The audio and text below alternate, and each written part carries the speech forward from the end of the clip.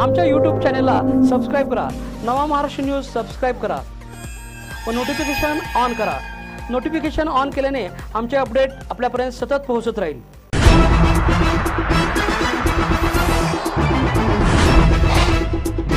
जय भवानी तालीम मंडळाच्या वतीनं आयोजित कुस्ती स्पर्धेमध्ये महाराष्ट्र चॅम्पियन विजय धुमाळ यानं डबल कर्नाटक केसरी कार्तिक काटे याला लपेट डावावर आसमान दाखवलं.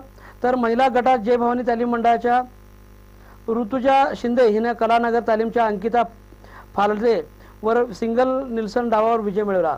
या स्पर्धेच्या निमित्तानं पुरुष आणि महिला अशा दोन्ही गटातील मातबर मल्लांच्या कुस्त्या खडाखडी आक्रमक चढाई आणि शक्ती प्रदर्शन यांचा मिलाप कुस्ती शौकीनांना अनुभवता आला.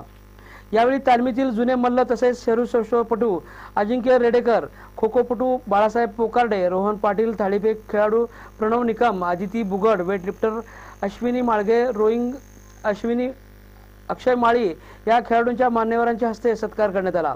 कार्यक्रमात नूतन बँकेचे अध्यक्ष प्रकाश पुजारी सन्मती बँकेचे अध्यक्ष सुनील पाटील जिल्हा परिषदेचे सदस्य राहुल आवाडे इचलकंजी इंड इस्टेटचे अध्यक्ष राहुल खंजिरे. अशोक सौंदितीकर मोहन भिडे बाळासाहेब गलगले शेखर शहा अमृत भोसले यांच्यासह मान्यवर कुस्ती शौकीन मोठ्या संख्येने उपस्थित होते.